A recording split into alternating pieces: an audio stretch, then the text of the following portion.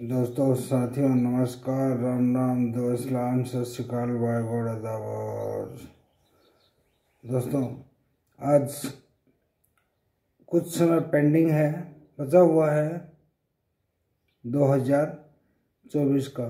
तो सबसे पहले तो सभी दोस्तों, साथियों को राम राम, नमस्कार। दो इस्लाम सत श्रीकाल वाय गौड़। 2024 की हार्दिक हार्दिक हार्दिक शुभकामनाएँ।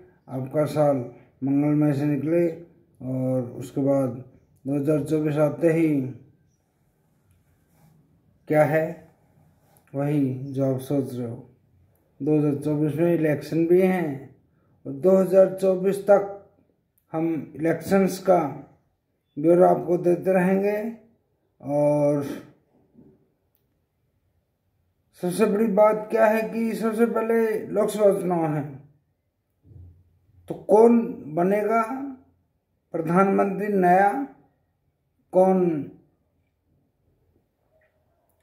आपके इलाके में जीतेगा? कौन? यानी कि लगभग लगभग सभी सभी तैयार भी हो चुके हैं।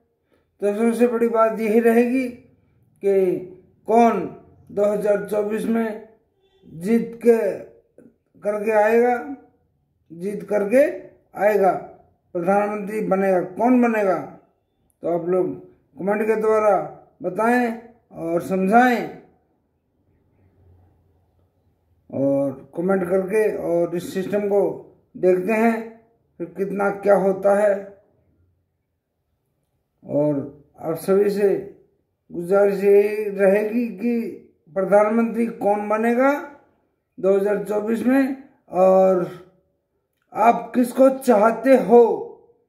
बड़ी बात यह भी है कि आप किसको चाहते हो कौन बनना चाहिए? देखिए, फ़िलहाल एक तो कैंडिडेट सामने ही है, नरेंद्र मोदी जी, और दूसरा अभी आया नहीं है आगे।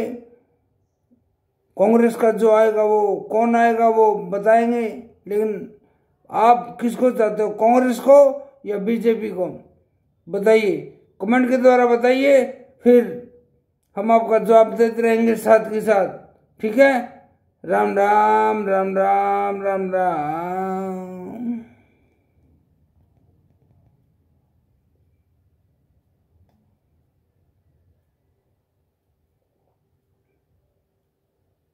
कमेंट भी कर दो।